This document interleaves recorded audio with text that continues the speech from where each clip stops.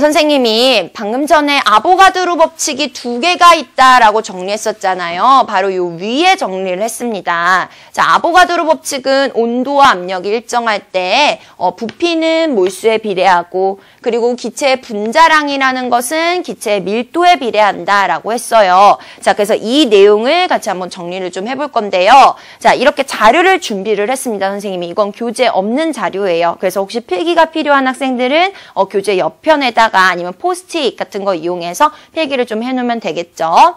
자, 지금 수소기체가 2몰 있다고 가정을 합시다.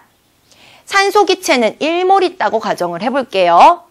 자, 일단 두 번째 칸에 있는 분자량을 채워볼 건데요. 자, 분자량은 얘가 2몰이든 1몰이든 얼마인 양에 상관하진 않아요. 그냥 얘가 이 분자, 이 물질이 고유하게 갖고 있는 값이니까. 자, 분자량 어떻게 구하라고 했어요? 어, 원자량을 다 더하면 된다고 했죠. 그러면 수소 기체 안에 들어있는 수소 원자량 두 개를 다 더하면 값이 2가 나옵니다. 일자리가 두 개 있으니까.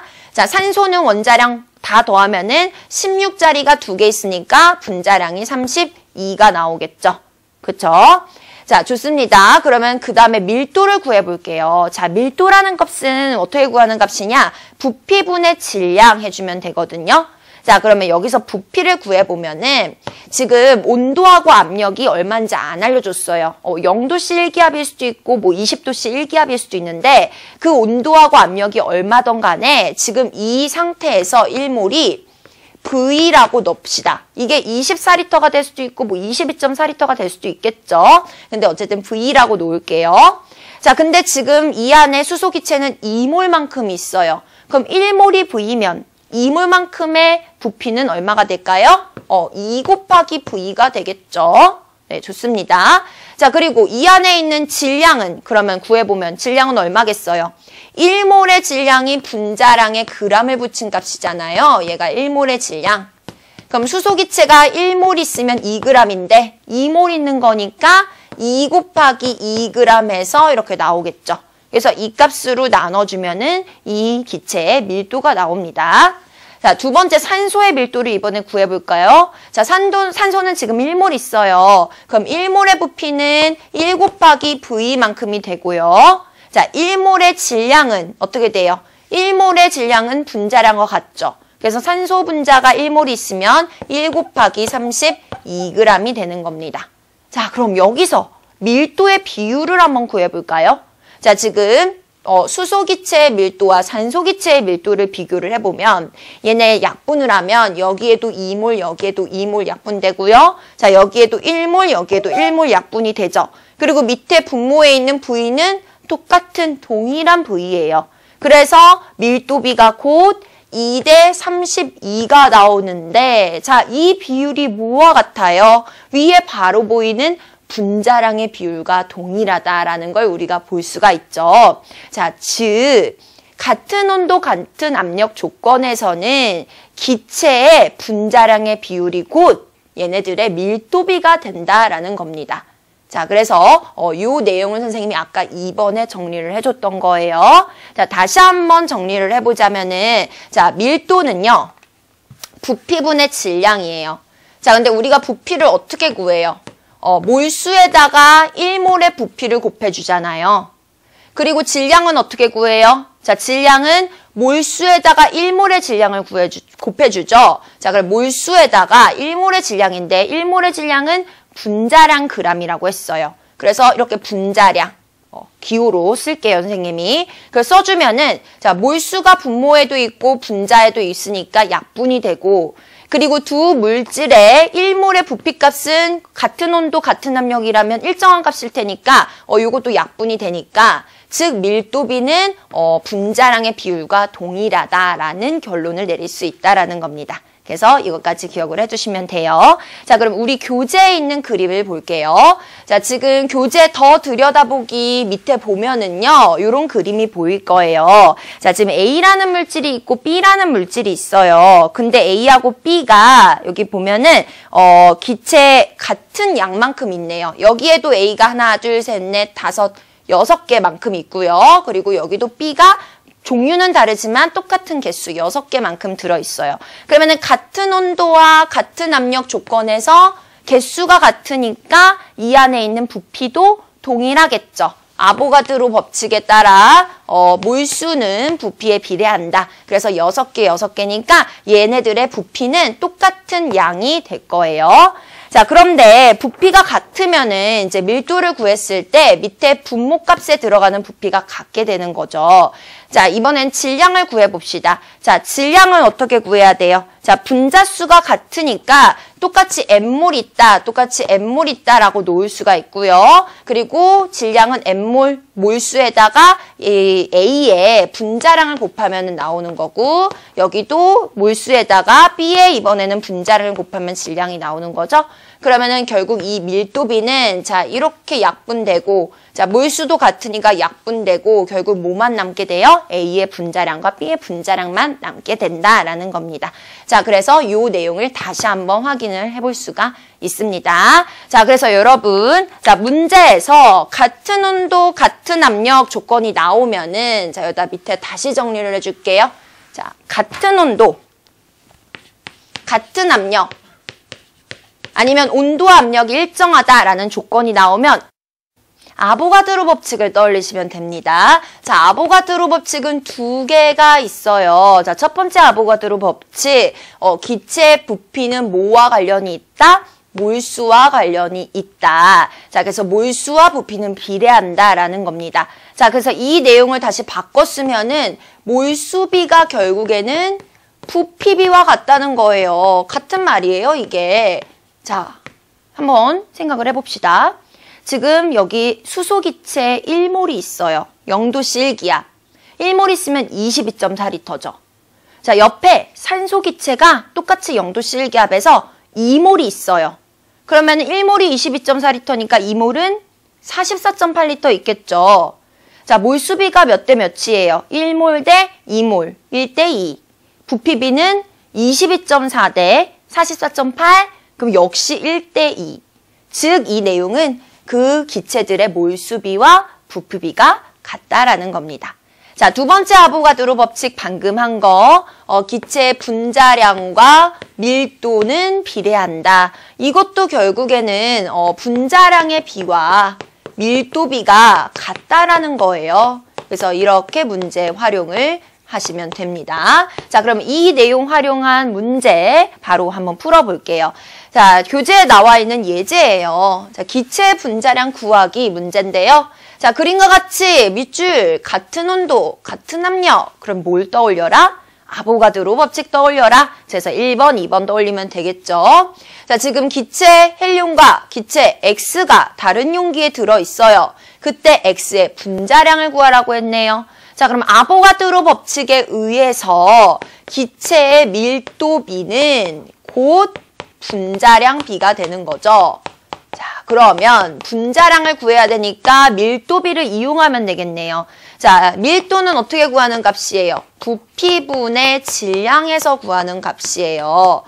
그러면 자, 헬륨의 밀도와 그리고 X의 밀도를 구해봅시다. 자, 헬륨은 요 그림에 의하자면 부피가 3리터고 질량이 0.6g이에요. 자, 계산하면 밀도 나오겠죠? 자, X는 어, 부피가 6리터일 때 질량이 12.0g이래요. 역시 계산하면 밀도가 나오겠죠. 그래서 이걸 계산하면 밀도가 몇 대 몇이 나오냐면은 어, 요렇게 계산을 하면은 10대 1이 나오네요. 10대 1. 자, 근데 이 밀도비가 뭐랑 같대요? 분자량비랑 같대요. 근데 지금 여기서 어, 헬륨의 원자량을 알려줬어요. 그러면 헬륨의 원자량이 4이니까 그때 X가 얼만지를 알고 싶죠? 아, 선생님이 여기 위에 계산을 잘못했네요. 어, 1대 10입니다. 반대로 1대 10.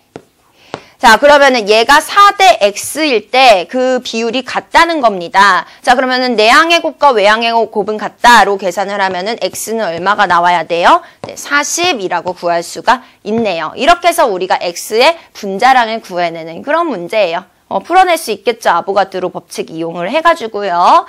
자, 좋습니다. 이렇게 해서 우리가 지금 몰이라는 값을 다양한 방법으로 표현하는 거를 배웠어요.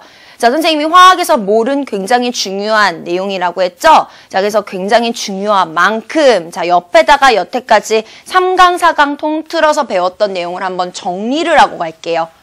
자, 선생님이 필기를 하나 해줄 건데, 자, 이 필기 내용 굉장히 중요해요. 자, 잘 해놓으셔, 잘, 잘 해놓으셔야 우리가 이제 몰과 관련된 문제들을 풀 때 여러분이 조금 수월하게 문제를 풀 수 있을 거예요.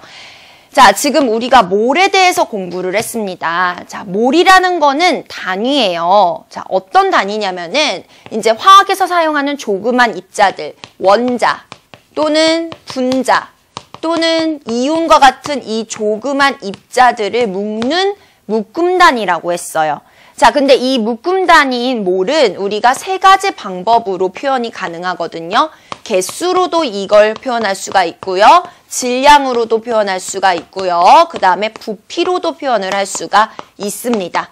그래서 이 화학에서 사용하는 세 가지 양으로 표현한다 해서 얘네들을 우리가 양적 관계다라고 부르기도 해요. 자, 표현을 어떻게 하는지 적어볼게요. 자, 1몰은 개수로 표현하면 몇 개가 되는 거죠? 어떤 물질이 1몰 모여 있다? 그러면 6.02 곱하기 10에 23제곱개 모여 있다는 뜻이래요. 자, 근데 그만큼을 똑같이 모아서 그만큼을 질량을 달아봐요. 그러면은 저울에서 질량이 얼만큼이 나오냐? 그 물질의 화학식량 값에 그람을 붙인 것만큼의 질량이 나오게 됩니다. 자, 여기서 화학식량은 만약에 그 물질이 원자라면 원자량, 원자량. 만약에 분자라면 이제 분자량이 나오겠죠. 그리고 분자가 아닌 물질이라면은 그냥 말 그대로 화학식량의 그람을 붙인 것만큼의 질량이 나올 거예요. 자, 마지막으로 이 1몰 얘네들을 부피로도 표현할 수가 있어요. 어, 6.02 곱하기 10에 23제곱개 모아놓은 거를 질량으로 달아볼 수도 있고 그 부피를 측정할 수도 있겠죠. 자, 부피는 온도와 압력이 조건, 온도 압력 조건이 중요하다고 했죠. 예를 들어서 0도씨 1기압이라고 조건을 줬다면 1몰의 부피는 22.4리터가 된다는 거예요. 그래서 온도 압력 조건이 들어가야 되고 또 고체, 액체는 부피를 따지지 않는다고 했어요. 여기서는. 그래서 기체 부피라는 거 다시 한번 선생님이 강조를 하겠습니다. 자, 그래서 이렇게 양으로 표현이 가능하고요. 자, 이걸로 우리는 문제에서 계산하는 걸로 계속 연습을 해볼 거예요. 그래서 자유자재로 몰과 개수, 몰과 질량, 몰과 부피를 자유자재로 왔다 갔다 하면서 계산이 가능해야 되거든요. 자, 그래서 어떻게 하면은 계산을 쉽게 할 수 있는지를 또 정리를 해줄게요. 자, 문제에서 만약에 몰수를 구하라고 했어요. 자, 이쪽에다가 정리를 할게요. 자, 몰수를 구하라고 했어요. 음, 옆에다가. 자, 몰수는 어떻게 구하냐? 문제에서 값을 제시해 줄 거예요. 뭐, 질량이든, 개수든, 부피든 값을 줄 거예요. 그럼 그 제시값을 무조건 1몰의 값으로 나눠주면 됩니다. 얘가 기준이에요. 부피든 질량이든 개수든 1몰의 그 값으로 나눠줘요. 그러면은 몇 몰인지가 나오거든요. 자, 그러면 해봅시다. 만약에 문제에서 개수를 줬어요. 그럼 이 개수를 몇 몰인지 알고 싶어? 그러면은 1몰의 개수를 나누면 된다는 거예요. 자, 우리 1몰의 개수가 얼마죠? 아보가드로 수만큼이죠? 그래서 6.02 곱하기 10의 23제곱계로 나누면 이게 몇 몰인지 나옵니다. 자, 만약에 문제에서 질량값을 줬어요. 몇 그램이다. 근데 이 몇 그램이 몇 몰이야? 라고 물어봤다. 그럼 그 질량을 1몰의 질량으로 나누면 돼요. 자, 우리 1몰의 질량 어떻게 구한다고 했죠? 어, 어떤 물질이든 그 화학식 양에다가 그램을 붙이면 된다고 했습니다. 자, 이렇게 나누면 되고요. 자, 마지막으로 부피를 줬어요. 자, 그러면 이 부피도 몇 몰인지 알고 싶으면 1몰의 부피로 나누면 되죠. 근데 1몰의 부피는 온도 압력에 따라 달라져요. 자, 만약에 0도씨 1기압 조건이라면 22.4리터가 나오겠지만 다른 온도, 다른 압력 조건이라면 어, 이 값은 달라질 거예요. 그럴 때는 문제에서 적어주니까 그 값을 여기 대입해서 계산을 하면 되는 겁니다. 자, 그래서 몰수 계산 잘 할 수가 있겠죠, 여러분. 자, 그러면 이 문제를 풀때이 그림을 하나 기억하면은 조금 문제가 쉬워집니다. 그래서 선생님 그림을 하나 그려줄게요. 자, 몰은 가운데 있다고 생각을 하면 돼요. 얘를 기준으로 우리가 개수값, 그리고 질량값, 그리고 부피 값들이 다 연결이 되거든요. 얘네들이 이렇게 다 연결되어 있다고 보면 됩니다. 자, 그래서 그 연결 고리를 좀 만들어 볼 거예요. 자, 우리가 개수를 이용해서 몰 값을 구하고 싶으면 어떻게 하라고 했어요? 어, 이 개수를 뭐로 나누라고 했죠? 아보가드로 수, 1몰의 개수로 나눠주면 몰이 나온다고 했습니다. 자, 그럼 반대로 몰을 개수로 바꾸고 싶어. 그럼 어떻게 하면 돼요? 어, 그 몰수에다가 1몰의 개수인 아보가드로 수를 곱하면 그 2몰이 몇 개인지 또는 3몰이 몇 개인지 구할 수 있다고 했습니다. 그래서 몰과 개수 왔다 갔다 계산할 수 있겠죠, 여러분? 식 이용하면. 자, 그 다음에 몰과 질량의 관계는요. 자, 먼저 어, 몰, 하, 몰을 질량으로 바꾸고 싶을 때 자, 어떻게 바꾸면 되냐. 질량 값을 뭐로 나누면 돼요? 1몰의 질량으로 나누면 된다고 했죠? 그래서 1몰의 질량은 화학식량에다가 그람 붙인 거만큼으로 나누면은 몰수가 나온다고 했어요. 자, 반대로 몰을 질량으로 바꾸고 싶어. 그러면은 그 몰에다가 몰수에다가 1몰의 질량인 화학식량 그람을 붙여서 이렇게 곱해주면 질량이 나옵니다. 그래서 이것도 마찬가지 왔다 갔다 할 수 있죠. 자, 마지막으로 부피. 자, 부피도 패턴은 똑같아요. 자, 패턴이 이제 보일 거예요, 여러분. 그쵸? 패턴이 똑같아요. 자, 부피 값을 뭘로 바꾸고 싶다. 그러면은 문제에서 제시한 부피를 어떻게 하라고요? 1몰의 부피로 나누라고요. 요거는 온도, 압력에 따라서 달라지겠죠? 자, 마지막으로 몰의 부피로 바꾸고 싶어요. 그럼 어떻게 해요? 어, 몰수에다가 1몰의 부피를 곱해주면 되죠? 그러면은 어, 부피가 얼마인지 나와요. 2몰의 부피, 3몰의 부피 곱해주면 부피가 나오겠죠? 그래서 요 그림을 하나 기억해 주시면 문제 풀 때 잘 사용할 수가 있어요. 자, 예를 들어서 문제에서 부피를 주고서 부피를 주고서 그 부피가 몰이 얼마인지만 구하는 것이 아니라 몇 그램인지 질량을 구하라고 하기도 하거든요. 자, 그럼 여러분 어떻게 구해야 돼요? 자, 부피를 1몰의 부피로 나눠서 몰을 구한 다음에 그 몰에다가 화학식량을 곱해서 질량을 구하는 거예요. 자, 이런 식으로 따라가서 문제를 풀어야 돼요. 자, 다시 개수를 주고 부피를 구하라고 했어요. 그럼 어떻게 해요? 자, 개수를 아보가드로 수로 나눠서 몇 몰인지 구하고 그 몰을 이용해서 부피를 곱하여 1몰의 부피를 곱하여 부피를 구하는 거죠. 그래서 이렇게 어, 개수와 부피와 질량과의 관계 중심에는 몰이 있다. 항상 뭐를 구해야 된다라는 거를 기억하시면 됩니다. 자, 그래서 이 내용 선생님이 정리한 거잘 어, 적어 놓으시고 나중에 문제 풀 때도 같이 활용을 하면서 문제를 풀어 볼 거예요. 자, 그러면은 우리는 이제 다시 교재로 도, 돌아가서요. 자, 교재 31쪽에 나와 있는 어, 31쪽 가기 전에 방금 선생님이 정리한 내용 가지고 우리 연습 문제 몇 개를 한번 풀어 볼 거예요. 자, 이 연습 문제는 선생님이 따로 준비를 했습니다. 자, 그래서 교재에는 없으니까요. 어, 보면서 연습을 해 보면 돼요. 그냥 선생님하고 같이. 자, 21, 20도씨 기압의 이산화탄소가 12리터가 있대요. 자, 이렇게 부피가 나왔어요. 그러면 이 부피를 어, 뭐로 바꾸든 개수로 바꾸든 질량을 바꾸든 일단 뭐를 거쳐야 된다고 했어요? 여기 나와 있는 그림처럼 뭐를 거쳐야 된다고 했죠? 자, 그래서 부피값을 일단 몰수 값으로 바꿔볼 거예요. 자, 어떻게 바꿔야 돼요? 자, 제시된 값을 뭐로 나눠라? 1몰의 값으로 나눠라.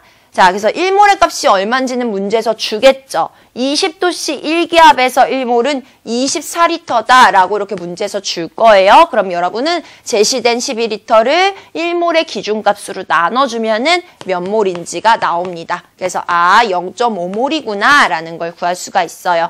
자, 그 다음에 이 0.5몰이라는 걸 이용해서 분자의 개수 구해봅시다. 자, 0.5몰은 몇 개예요? 곱하기 1몰의 개수 6.02 곱하기 10의 23제곱개 곱하면 개수가 나오는 거죠.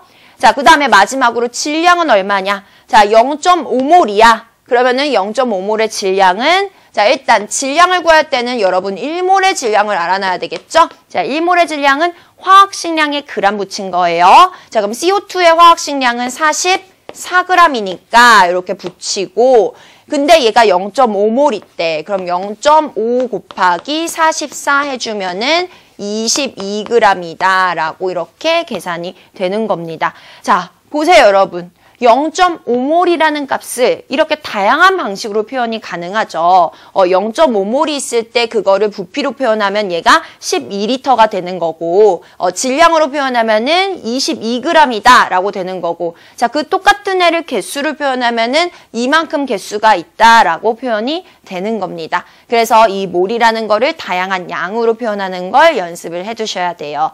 자, 그 다음 연습 문제도 한번 풀어볼게요. 이번에는 몰수를 구하라고 했습니다. 자, 선생님, 몰수는 어떻게 구하면 된다고 했어요? 문제에서 제시하는 제시값을 각각의 1몰의 기준값으로 나눠주면 된다고 했습니다. 자, 해볼게요. 수산나트륨 NaOH의 20g. 자, 요거 질량이네요. 그러면 제시된 이 질량을 1몰의 질량으로 나눠주면 되죠. 그러면 NaOH 1몰의 질량은 얘 원자량을 모두 다 더한 화학식량을 구하면 되네요. 자, 원자량 23 더하기 16 더하기 1 하면 40이 나와요. 그럼 NaOH 1몰은 40g이라는 뜻이죠. 계산하면은 어 0.5몰이다라고 이렇게 구할 수가 있다라는 겁니다. 그러니까 NaOH 20g이라는 말은 NaOH가 0.5몰 있다라는 말과 같은 말이라는 거예요. 표현 방식이 다를 뿐. 자, 두 번째. 기체가 이만큼 있대요. 개수가 나왔네요. 자, 그럼 이 개수를 어떻게 하면 돼요? 1몰의 개수를 나눠주면 되죠. 자, 1몰의 개수는 어떤 입자든 간에 어, 6 곱하기 23 제곱계 해주면은 요것도 0.5몰이 나오네요. 그래서 수소기체 0.5몰이 있다는 말하고 수소기체가 이만큼 개수만큼 있어 라는 말은 어, 같은 뜻이라는 거예요. 자, 마지막으로 20도씨 기압에서 메테인 기체 6리터가 있대요. 자, 이렇게 부피가 나오면 이 제시된 부피값을 1몰의 부피로 나눠주면 되죠. 자, 20도씨 기압 1몰의 부피는 문제에서 줄 거예요. 그래서 24리터로 나눠주면은 얘는 4분의 1몰, 즉 0.25몰이 있다라고 이렇게 계산을 할 수가 있습니다. 자, 그래서 여러분 계산 어떻게 하는지 알겠시겠죠? 어, 선생님이 방금 정리해준 내용을 이용하면은 쉽게 계산이 된다 입니다. 자, 그러면은 어, 하나만 더 연습을 해볼게요. 자, 20도씨 기압에서 48리터의 용기를 채우기 위한 산소와 암모니아 기체의 질량을 각각 계산해 보자 라고 했어요. 자, 일단 부피를 주고 질량을 계산하라고 했네요. 자, 부피를 주고 질량을 계산하라고 했어요. 근데 아까 옆에서 그림에서 봤다시피 자, 요 그림에서 봤다시피 자, 부피를 가지고 질량을 바로 구할 수가 없고요. 자, 어떻게 구해야 돼요? 어, 부피를 뭘로 바꾼 다음에 얘를 다시 질량으로 바꿔주면 되거든요. 자, 그러면 이 그림으로 다시 돌아와서 자, 부피를 몰로 바꾼 다음에 얘를 이용해서 질량값을 구하면 된다라는 거죠. 자, 그래서 부피에서 몰, 몰에서 질량으로 넘어가면 될 것 같습니다. 자, 그래서 48리터가 있대요. 그럼 얘가 몇 몰인지 구하려면 어떻게 구하면 된다고 했어요? 어, 부피를 1몰의 제시값, 1몰의 기준값으로 나눠주면 되죠? 그러면은 20도 실기압이니까 1몰에 24리터로 나눠주면 2몰 있다는 뜻이에요. 그래서 산소 기체도 지금 2몰 있는 거고 암모니아 기체도 2몰 있는 2몰 있다는 뜻이죠. 자, 그러면 이 몰수를 가지고 이제 질량을 구하려면은 각각의 1몰의 질량을 곱해야 되잖아요. 근데 산소와 암모니아의 1몰의 질량이 각각 다르니까 따로따로 계산을 해야 되겠죠. 자, 먼저 산소부터 계산을 해 보면 자, 산소가 2몰 있을 때 어, 질량은 얼마냐? 자, 1몰의 질량은 얘 분자량 32g이니까 2 곱하기 32해서 64g 이렇게 나오고요. 자, 암모니아는 NH3는 어, 1몰의 질량이 17g이에요. 근데 얘가 2몰 있는 거니까 34g이다. 이렇게 할 수가 있죠. 그래서 같은 48리터 아니라도 어, 산소 기체가 들어있는 질량하고 암모니아 기체가 들어있는 질량은 다르다라는 겁니다. 그래서 이걸 이렇게 각각 계산을 할 수 있어야 됩니다. 자, 그래서 몰 개념 굉장히 연습 많이 하셔야 되는 거 꼭 기억하시고요. 자, 그 다음에 우리가 이제, 어, 문제들을 한번 풀어보도록 하겠습니다. 자, 교재 32쪽을 피시면 되는데요. 자, 지금 앞에서 몰과 관련된 개념을 잘 정리를 했어요. 그래서 몰, 그리고 개수, 질량, 부피까지 정리를 했고요. 얘네들을 문제에 적용하는 거 훈련 많이 하셔야 되겠죠? 자, 그래서 교재에 있는 내신 기초 문제부터 풀어볼 건데요. 자, 여러분, 내신 기초 문제는 말 그대로 기초 문제예요.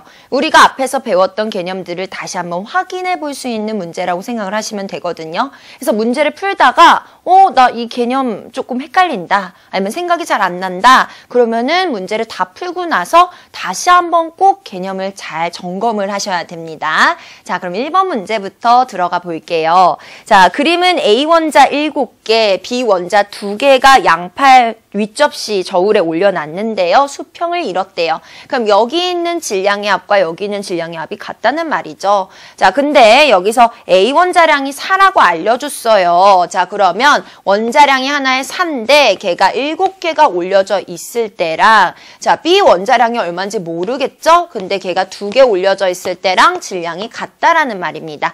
자, 그럼 이거 계산하면은 x가 얼마인지 구할 수가 있겠네요. 그래서 x는 14다 라고 어, 값을 구할 수가 있어요. 자, 2번 문제 넘어가겠습니다. 자, 지금 여러 가지 물질이 나와 있는데요. 얘네들의 어, 화학 식량이 가장 큰 물질을 고르라고 했네요. 그럼 각각의 화학 식량을 우리가 계산을 해야 되겠죠. 자, 여러분, 화학 식량은 어떻게 계산하는 거라고 했어요? 화학식에 포함된 원자량을 그냥 다 더하면 돼요. 뭐 너무 쉬운 내용이죠. 그래서 화학식이 나와 있으니까 이 안에 원자량 다 더해 봅시다. 자, 밑에 보면은 괄호 안에 수소, 탄소, 산소, 원자량 이렇게 다 알려줬죠. 그래서 이 값들을 활용을 하면 되는 거예요. 자, 수소의 원자량이 1인데 그게 두 개 있으니까 얘는 2가 됩니다. 자, 탄소 원자량 12고요. 근데 수소 원자량 하나 1인데 얘가 4개 있어요. 자, 다 더하면은 16이 나오겠죠? 자, CO2는 탄소가 하나 있는데 원자량 12고요. 자, 산소 원자량 16인데 2개 있어요. 그러면 계산하면 44네요. 자, 그 다음에 O3예요. 자, O2 아니에요, 여러분. O3 조심하시고 오존이라는 물질입니다. 자, 그러면 16짜리 산소가 이 안에 3개가 있네요. 계산하면 48이다 라고 화학식량 계산할 수 있고요. 자, C2H6 탄소 12짜리가 2개 있고요. 그 다음에 수소 1짜리가 6개 있어요. 자, 그래서 요거 계산을 다 하면은 30이 나옵니다. 자, 그럼 이 중에서 화학식량 가장 큰 물질 누구예요? 어, O3 오존이네요. 그래서 정답 4번으로 골라주시면 돼요. 자, 간단하죠? 자, 그래서 3번으로 넘어가겠습니다. 자, 다음은 일몰에 대한 어, 설명이 나와 있고요. 자, 설명에 가하고 나라는 빈칸이 들어가 있네요. 빈칸을 메꿔주면 돼요. 자, 지금 1몰은 질량수 12짜리 탄소 원자의 몇 그램을 말하는 원자수냐. 자, 우리 원자량이라는 것은 이 탄소를 기준으로 잡기로 했잖아요. 그래서 얘가 어, 12라고 정했습니다. 이건 우리가 인간인 정한값이라고 했어요. 그래서 그 10이라고 원자량을 정했고 그 원자량의 그람 단위를 붙였을 때만큼의 질량을 1몰의 질량으로 정하기로 했죠. 그래서 여기 들어갈 말은 10이고요. 자, 1몰에 해당하는 원자의 개수는 자, 어떻게 구하라고 했어요? 1몰에 해당하는 원자의 개수는 자, 1몰의 질량인 12g을 이 탄소 원자 한 개의 질량으로 나눠주면 그 안에 원자가 총 몇 개 들어있는지가 나오겠죠. 자, 근데 1몰의 개수가 뭐예요? 바로 그치? 아보가드로 개수죠. 자, 그래서 그 아보가드로 개수는 우리가 잘 알고 있다시피 6.02 곱하기 10의 23제곱개 이렇게 해주면 됩니다. 자, 그래서 답은 4번인데요. 이제 간혹 가다가 이 아보가드로의 개수를 그냥 6.02가 아니라 그냥 6 곱하기 10의 23제곱개 이렇게 간단하게 제시하는 문제들도 있어요. 그러면은 어, 이거 틀렸는데 이거 6.0인데 라고 생각하지 마시고 그냥 문제에서 제시한 대로 6 곱하기 곱하기 10의 23제곱계로 간단하게 문제를 푸시면 되는 거예요. 자, 3번 문제, 4번 문제로 넘어갈게요. 자, 표는 세 가지 물질에 대한 자료다라고 나와 있습니다. 자, 이렇게 자료값이 나와 있어요. 그리고 O2H2 NH3 나와 있고 분자수 그리고 전체 원자수가 얼마인지 구하라고 되어 있네요. 자, 우리 전체 원자수는 어떻게 구하면 된다고 했어요? 어, 분자수에다가 이 분자를 구성하고 있는 원자의 개수를 곱해주면 나온다고 했죠. 자, 곱해봅시다. O2가 1몰 있으면 그 안에 산소 원자는 두 개씩 해서 2몰 있게 되는 거죠. 그래서 X는 2고요. 자, H2가 2몰 있을 때 H2O 안에는 수소 원자 2개, 산소 원자 하나, 원자가 3개로 구성되어 있어요. 그럼 이 덩어리가 2몰 있으면 원자는 그 안에 곱하기 3한 만큼 6몰이 되겠네요. 자, NH3는 질소 원자 하나, 수소 원자 3개, 4원자로 구성된 분자죠. 그럼 이 덩어리 자체가 0.75몰 있으면 그 안에 원자는 곱하기 4한 만큼 3몰이 있다라는 겁니다. 자, 그래서 x, y, z 다 구했어요. 자, 근데 문제에서 어, x 곱하기 z 하면은 어, 2 곱하기 3 분의 y 6 해서 정답은 1이다 라고 구해주면 됩니다. 자, 5번 문제로 넘어갈게요. 자, 이렇게 가나다 여러 가지 물질이 나왔고요. 얘네들의 어, 몰수를 비교하는 문제네요. 자, 그럼 여러분, 자, 몰수 어떻게 구하자고 했어요? 자, 몰수는 문제에서 주는 이 제시값들을 1몰의 값으로 나눠주면 된다고 했습니다. 개수면 개수, 부피면 부피, 질량이면 질량으로 나눠주면 되죠. 자, 먼저 가부터. 자, 다이아몬드가 24g 있다. 어, 요거 질량이네요, 질량. 그러면 제시된 이 질량 24g 값을 다이아몬드 1몰의 질량으로 나눠주면 되죠. 자, 다이아몬드 1몰의 질량은 탄소 1몰의 질량 12g이 되겠네요. 그러면은 2몰 나오고요. 자, 두 번째, 이번에도 질량이에요. 물이 27g 있대요. 그럼 이 제시된 질량 값을 뭐로 나눠요? 물 1몰의 질량으로 나눠주면 되죠. 자, 물의 1몰의 질량은 얘 분자량 g이에요. 자, 분자량 요거 18이죠? 어, 2 더하기 16해서 18g으로 나눠주면 됩니다. 자, 그러면 계산하면은 2분의 3몰이네요. 자, 다 20도씨 기압에서 산소기체 18리터 부피를 줬어요. 그럼 이 부피 역시 1몰의 부피로 나눠주면 되죠. 자, 근데 문제를 잘 보면은 지금 20도씨 기압의 기체 1몰은 24리터다라고 알려줬죠? 그래서 이렇게 알려준다는 거예요. 그래서 이 값으로 나눠주면은 자 계산하면 4분의 3리터다라고 3, 4분의 3몰이죠? 어, 4분의 3몰이다 라고 나옵니다. 자 그럼 몰을 비교해보면 이 중에서 가장 큰 값이 2몰 가고요. 자 그 다음에 어, 뭐가 나와요? 어, 나가 그 다음으로 크네요. 그 다음에 다입니다. 자, 그럼 가나다 순서대로 정답 1번 골라주시면 돼요. 자, 6번 문제 넘어가겠습니다. 자, 지금 그림이 나와 있는데 이 통 안에 C2H2라는 물질이 12리터 들어있대요. 자, 위에다가 씁시다. 얘는 부피 값이죠. 자, 근데 밑에 문제를 보니까 쭉 뭐 분자량, 질량 뭐 이런 걸 묻고 있어요. 그러면 이 부피를 일단 뭐로 바꿔야 돼요, 여러분? 그쵸, 선생님이 몰수를 일단 바꾸고 문제를 시작하라고 했어요, 항상. 자, 부피가 나오든 개수가 나오든 질량이 나오든 이 양들의 관계 중심에는 몰이 있다. 그래서 뭘로 바꿔라. 자, 그럼 뭘로 바꿀 건데, 자, 이 부피값을 뭘로 어떻게 바꿔요?